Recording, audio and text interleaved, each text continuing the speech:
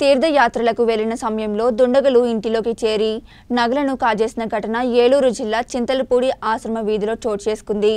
చింతలపూడి ఆశ్రమ వీధిలో నివాసం ఉంటున్న చిట్టమ్మ తీర్థయాత్రలకు వెళ్ళగా దుండగులు ఆమె ఇంటి తారాలు పగలగొట్టి ఇంటిలో ఉన్న ముప్పై ఐదు కాసుల బంగారం డెబ్బై ఐదు తులాల వెండిని కాజేశారు. చిట్టమ్మ తీర్థయాత్రలకు వెళ్ళి ఇంటికి వచ్చి చూడగా పగలగొట్టిన తాళం కప్ప చూసి ఇంటిలో ఉన్న నగదును దుండగులు చోరీ చేశారని పోలీసులను ఆశ్రయించింది. పోలీసులు కేసు నమోదు చేశారు. నేను ఇరవై రెండు తీర్థయాత్రలో త్రీడీ వెళ్ళానండి. వెళ్ళి వచ్చే ఇవాళ నాలుగు గంటలకు వచ్చాను. మీ పేరేం పేరమ్మా? కనిగిరి చిట్టమ్మ. ఎక్కడ మీది? మా చంద్రపూడి అండి చింతలపూడి ఎక్కడ? ఎల్లబ్బి ఇది ఓకే చెప్పండి.